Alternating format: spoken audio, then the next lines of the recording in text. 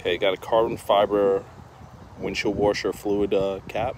It's wrapped, so it is real carbon fiber here, just wrapped around the cap.